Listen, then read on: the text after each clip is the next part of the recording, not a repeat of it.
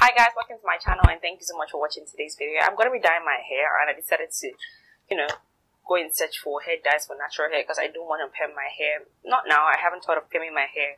So I went to get the um, Clairol textures and tone. I got it in lighter blonde and I'm supposed to be achieving this hair color right here.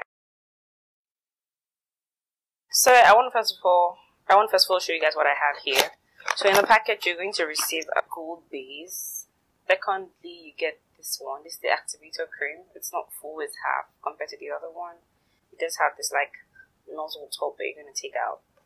Then you have this conditioner, which smells amazing, by the way. Then in here you have two gloves, really strong gloves. And the instructions are here and I found that I have a hair booster.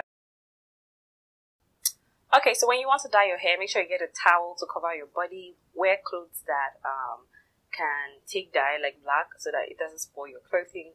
For me now, because my hair is small, I have to, you know, pour out the content in a little container. So I'm going to mix half of them in here so I don't waste the dyes. I can have half left just in case I want to like re-dye my hair. I put in the hair booster. So it's milky in color. Now it's time for me to start this. I'm super scared and I am excited at the same time.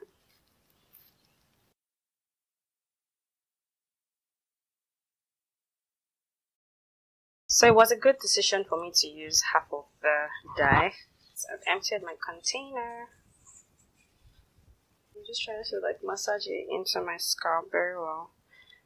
I have to time it. It says 20 minutes, but I guess my hair so dark that it will stay longer than 20 minutes. So now it's 10.43. I'll be back to you guys what my hair looks like.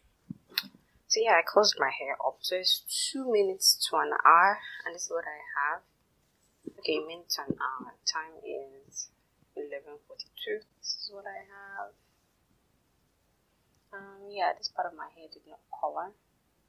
So black.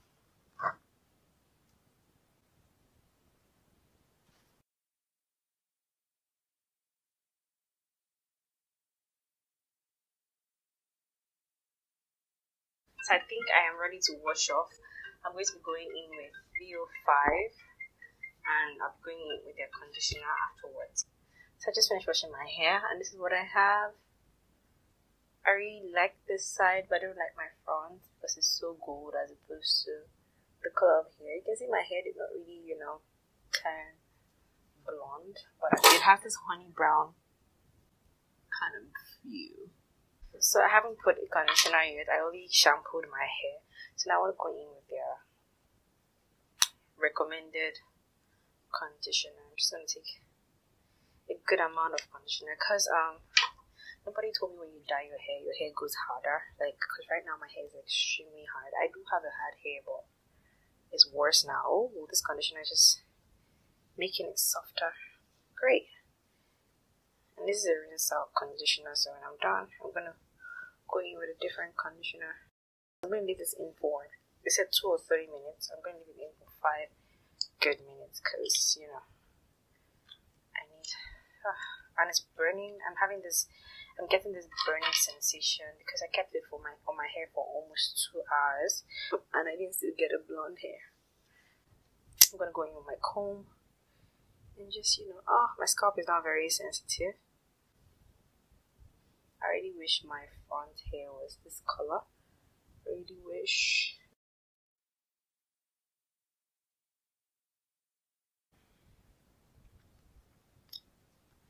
That's all for my hair.